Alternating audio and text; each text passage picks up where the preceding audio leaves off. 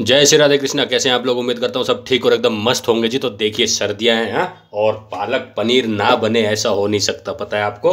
तो देखिए, आज बनाएँगे बिना प्याज और लहसुन के पालक पनीर, ठीक है जी? तो देखिए, एक गिलास पानी लिया है और अच्छे से बॉईल होने दिया पानी को, और देखिए, पालक लिया है जी, एक गड्डी, ठीक है? इसको अच्छी तरीके से साफ़ करके और देखिए पत्तों को धुलाई कर लिया, बढ़िया तरीके से, और डालेंगे इसके अंदर और डंडियों के साथ डालेंगे, ठीक है जी? तो डंडिए नहीं फेंकना, जो ज़्यादा पकी हुई डंडी है वो आप फेंक सकते हैं, या जो ख़राब है, और नहीं तो डंडियों को नहीं फेंकेंगे, ठीक है जी? तो डंडियों में सब कुछ है तो इसको अच्छी तरीके से बॉईल करेंगे, ठीक है? तो अभी गैस करेंगे तेज़ और पालक डालने के बाद और ऊपर से ढक्कन लगा के इसको दो मिनट पकाएँगे अच्छी तरीके से, जब तक कि ये गल ना जाए और बहुत जल्दी गल जाता है, आपको पता है। तो ये देखिए जी, गैस कर देंगे तेज और बीच में एक बार चेक कर लें, क्योंकि कभी कभी क्या होता है, पानी कम रहता है तो नीचे पत्ते चिपक सकते हैं, ठीक है जी? तो इस चीज़ का आप ध्यान रखें। और बनाएँगे इतना टेस्टी और बिल्कुल अलग तरीके से और बिना प्याज और बिना लहसुन के एकदम स्पाइसी और रेस्टोरेंट स्टाइल आज पालक पनीर, ठीक है जी? तो चलो जी, पालक को चेक करते हैं और देखिए, दो मिनट में बहुत जल्दी पता ही है आपको, पालक एकदम बॉईल हो जाता है, ठीक है? एकदम उबल जाता है तो ये देखिए जी, अच्छी तरीके से पालक उबल चुका है, ठीक है? अभी इसको गैस कर देंगे बंद और अच्छी तरीके से ठंडा होने देंगे, ठीक है? फिर इसको हमें मिक्सी के अंदर पीसना है। तो देखिए जी, जब तक पालक ठंडा हो रहा है, रुकना नहीं है टाइम बर्बाद नहीं करना है, फटाफट तड़का लगाएँगे पहले, ठीक है? पालक पनीर का तड़का तो इतने पालक भी ठंडा हो जाएगा और इतने हमारा तड़का भी रेडी हो जाएगा, ठीक है जी? तो देखिए, लोहे की कढ़ाई लिए मैंने, बताइए आपको कितना आयरन होता है है ना? तो इसलिए आज लोहे की कढ़ाई में बनाएँगे, देखिए। तो देखिए जी, सबसे पहले तो डालेंगे तेल, ठीक है? कढ़ाई के अंदर, ये देखिए, कितना कम तेल में आज बनाएँगे, है ना? और अभी अच्छी तरीके से तेल को गर्म होने देंगे। तो तेल देखिए जी, गर्म हो गया, ठीक है? और अभी क्या करेंगे? देखिए तो जीरा साबुत है, तेज पत्ता है, ठीक है? और देखिए, ये साबुत जीरा, तेज पत्ता, दालचीनी और जी काली मिर्च साबुत लिए और दो से तीन लौंग लिए मैंने तो एक साथ डाल देंगे, ठीक है? ऐसा कुछ नहीं है, ये देखिए। और गैस कर देंगे कम, ठीक है? क्योंकि नहीं तो मसाले जल जाएँगे, ठीक है जी?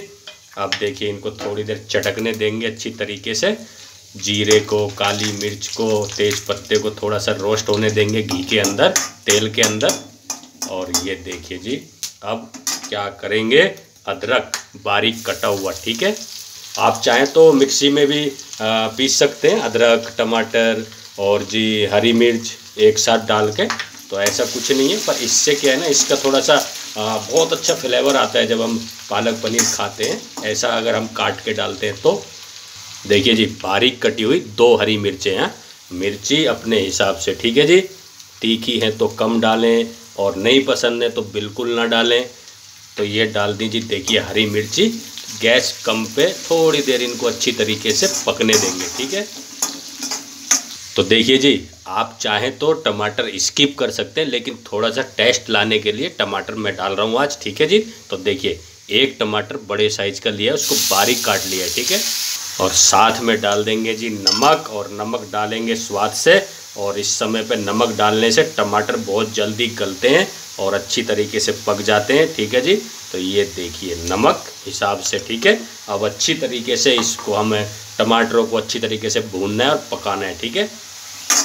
तो देखिए जी, इस समय पे गैस तेज़ कर लें थोड़ी सी हाँ? तो उससे क्या जल्दी एकदम अच्छी तरीके से एकदम टमाटर जल्दी पक जाएँगे, ठीक है? तो देखिए जी, अच्छी तरीके से टमाटर भुन चुके हैं, आपको दिख रहा है, देखिए, एकदम ग्रेवी बन चुकी है हाँ। तो देखिए जी, पीस के भी डाल सकते थे, लेकिन इस ऐसे डालने से बहुत अच्छा स्वाद आएगा, ठीक है। तो ये देखिए, गरम मसाला, चुटकी, दो से तीन चुटकी बस हाँ। और देखिए जी, धनिया पाउडर तो डालेंगे एक चम्मच, ठीक है जी, भर के। उसके बाद देखिए, हल्दी थोड़ी सी, दो से तीन चुटकी, ठीक है जी, और बिल्कुल कम मसालों में बनाएँगे, ठीक है। देखिए, मिर्ची पाउडर ये मैंने कश्मीरी लिए कलर के लिए। आपके पास नॉर्मल है, वो भी डाल सकते हैं। अच्छी तरीके से मिक्स करके भून लेते हैं। तो देखिए जी, मसाले अच्छी तरीके से भून चुके हैं और देखिए तेल भी साइडों से मसाले, टमाटर ने सबने छोड़ दिया है। थोड़ा सा पानी हाँ। बस इतना काफ़ी है जी। अच्छी तरीके से एक बार पकाएँगे। देखिए जी, तड़का कितना अच्छा एकदम सुंदर बनकर तैयार हो गया है। तो प्यार, मोहब्बत से धीरे धीरे तड़के को पकने दें, क्योंकि जितना भूनोगे आप किसी चीज़ को, उतना टेस्ट बहुत अच्छा आता है, ये सब आपको पता है। और देखिए जी, प्यार से, मोहब्बत से तड़के को पकने दें। तो देखिए, तड़का हो गया रेडी ठीक है? अब लाते हैं अपने पालक को। तो देखिए जी, पीस लिया, मिक्सी में हमने पालक। और ये देखिए जी, डाल देंगे।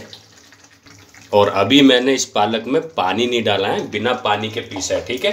तो क्योंकि नरम रहता है पक चुका है अच्छी तरीके से तो पानी, पालक में पानी ही होता है, पता है आपको? तो गीला है तो आराम से पिस जाता है, ठीक है?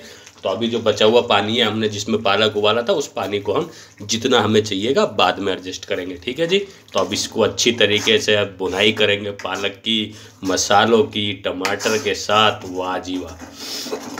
तो देखिए जी इस तरीके से अगर आप इसको पकाते हैं तो फिर ये क्या जब आ, मतलब बॉईल होगा तो ये छीटे आएँगे इसमें से तो वो छीटे ना आए तो आप इसको ढक्कन ज़रूर लगाएँ ठीक है?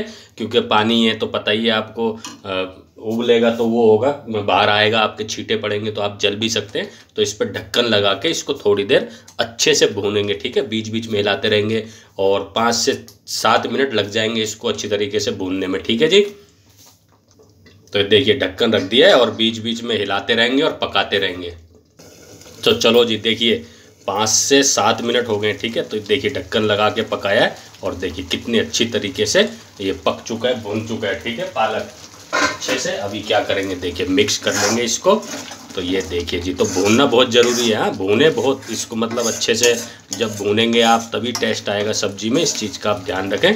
तो ये देखिए जी अच्छे से भून चुका है और जो बचा हुआ पानी था, अब डालेंगे, ठीक है? इस समय पे उस पानी को हमें डालना है।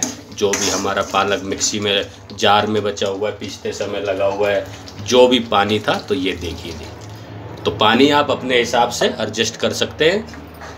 तो चलो जी, देखिए, अभी पनीर लिया है और इस तरीके से काट लिया, आपको पता ही है तो ये 250 ग्राम मैंने पनीर लिया है, डाल देंगे, देखिए, इस तरीके से और अच्छी तरीके से एक बार करेंगे मिक्स और अभी पानी डाला है तो थोड़ी देर दो मिनट उबालेंगे इसको अच्छी तरीके से। तो चलो जी, देखिए, दो मिनट अच्छे से ढक्कन लगा के इसको हमने पनीर के साथ पकाया और देखिए, रंग ऊपर एकदम अच्छी तरीके से सब भुना हुआ और तेल जो छोड़ा, वो भी आ गया, देखिए, ऊपर। अब क्या करेंगे? जो मैं बताता हूँ आपको हमेशा, पनीर कद्दूकस, ठीक है जी? ज़्यादा नहीं थोड़ा सा मैंने दो क्यूब्स इसके लिए थे और इनको कद्दूकस कर लिया है। और देखिए, इस तरीके से डालेंगे इसके ऊपर और इसको मिलाएँगे तो इससे क्या है ना, एकदम पनीर में एकदम बढ़िया मक्खन वाला एकदम टेस्ट आ जाता है। ये देखिए कितना अच्छा लगने लग गया ना, पनीर डालते देखिए कद्दूकस किया हुआ। तो चलो जी, देखिए, पनीर अच्छी तरीके से मिक्स हो गया, अच्छी तरीके से पक गया है, बढ़िया तरीके से सब कुछ तैयार हो चुका है। अब कैश करेंगे बंद और निकाल लेंगे इसको एक बर्तन में। तो देखिए जी, पालक पनीर सर्दियों में नहीं बनाया तो फिर क्या बनाया? है और वो भी बिना प्याज और लहसुन के। तो देखिए कितना बढ़िया, एकदम मज़ेदार पनीर आज बनकर तैयार हो गया जी, पालक पनीर। तो देखिए रेसिपी अच्छी लगी हो, वीडियो पसंद आई हो तो लाइक शेयर ज़रूर करें। और जो लोग चैनल पे पहली बार वीडियो देख रहे हैं, वो लोग चैनल को सब्सक्राइब ज़रूर कर लें। और बाकी सब देखिए, खाइए, पीजिए, मस्त रहिए। जय श्री राधे कृष्णा।